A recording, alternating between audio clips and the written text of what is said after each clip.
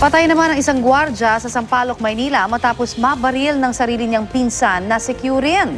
Ang dahilan ng kanilang away, selos. Balitang hatid ni Mav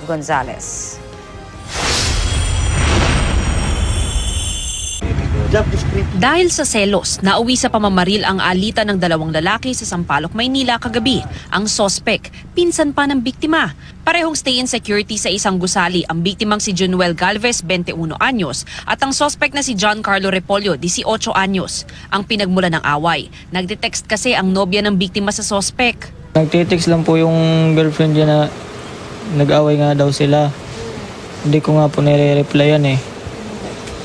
Tsaka sa ano, Facebook nag-ano na din.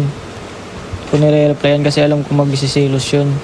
Pinapakita ko rin sa ano, pinsan ko. Yung pinapabasa ko nga sa kanya eh. Para di siya mag ano eh.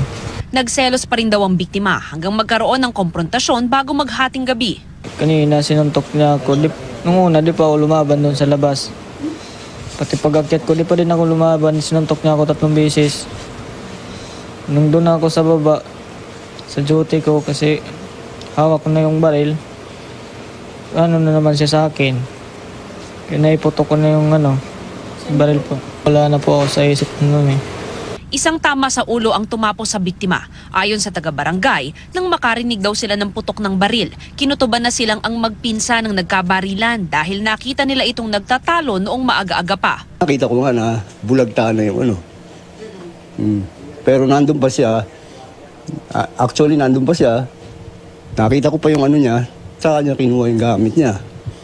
Pa, na, kinuha niya yung gamit na bag niya. Punta sa ano. Tapos saka siya lumabas. Kaya umatras kami. Kakala namin may ano.